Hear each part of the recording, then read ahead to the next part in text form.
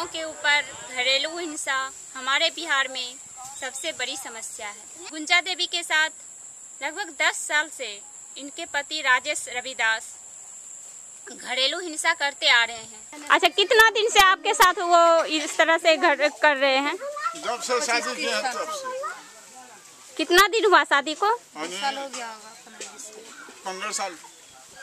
शुरू से नहीं कमाता है दारू भाँग पीता हाड़िया कढ़ाई तोड़ता इसी तरह इसको दिन जाता। गुंजा देवी अपने मैके में पिताजी के पास कई महीने से रह रही। इसी दौरान राजेश रविदास अपने बेटे को शराब पीने के लिए मुसहरी टोला में जाकर के बेच दिए।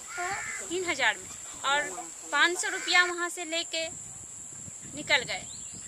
चार दिन के बाद बहुत खोजने पर बच्चा मिला। कौन सा बच्चा को बेचे थे आपका पति? बच्चा को ये बच्चा को बेच हाँ। क्या दूध पीता है? ना उसलिए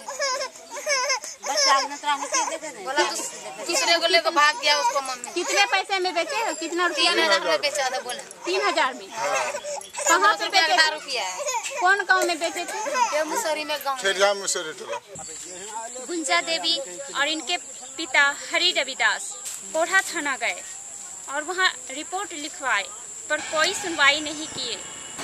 थाना में कोई अति नहीं करता है सुनवाई क्या बड़ा बाबू अभी थे क्या? बराबर था अभी दिया कागज़ नहीं लिया बोला चला जाइए कटिया लेडीज़ के पास। यहाँ नहीं लिया गया? नहीं लिया मैं अच्छा आप क्या चाहते हैं इसको क्या करने जेल के लिए? भेज दो मैं अपने कमाएँगे खाएँगे तीनों चारों बच्चा पालेंगे अच्छा से ज़िंदगी कटेगा अच्छा से नींद में सोएँगे। ऐसा ही लोग से हमारा कोई मतलब नहीं।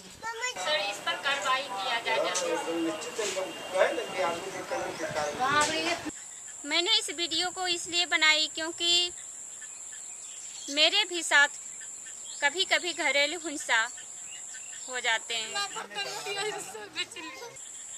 मैं चाहती हूँ कि गुंजा देवी जो रिपोर्ट थाना में दिए हैं, उस पर कार्रवाई किया जाए। यहाँ के थाना प्रभारी का नंबर है चौरानवे इकतीस, बेरासी, सत्ताईस इक्यासी इस नंबर पर कॉल कर, इन पर दबाव बनाकर हमारी मदद करें, ताकि गुंजा देवी को न्याय मिल सके।